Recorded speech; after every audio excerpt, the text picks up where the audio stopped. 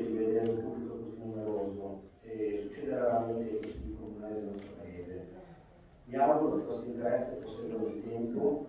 La partecipazione ai consigli comunali è un diritto che i cittadini hanno. In questo modo la possibilità di meglio comprendere i processi politico-amministrativi saranno la base del governo di Mastrano. Ne approfitto per ringraziare pubblicamente tutti i cittadini che in questi mesi ci hanno ascoltato, incoraggiato, supportato e aiuto votato. Ovviamente se siamo seduti da questa parte della sala del Consiglio perché questo sostegno non è stato sufficiente. I masteranesi hanno scelto la vera continuità, ci siamo dispiaciuti ma non possiamo che prendere in atto.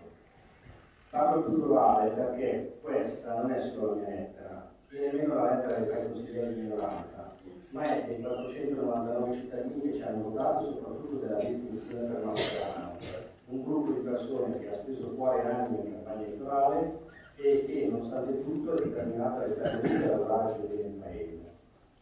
Le nostre idee, i nostri progetti, i nostri sogni non si sono certo dissolti lo scorso lunedì. Sono stati momentaneamente messi in un cassetto per uscire ancora più forti e bene. In occasione come questa, la parola più inflazionata di solito è collaborazione. Da parte nostra c'è disponibilità a collaborare, ma ciò non vuol dire a qualsiasi condizione anche per rispetto di coloro che ci hanno votato per anni di Crediamo che il verbo collaborare abbia un valore importante, che non si può svendere. La collaborazione non viene semplicemente concessa, deve essere meritata.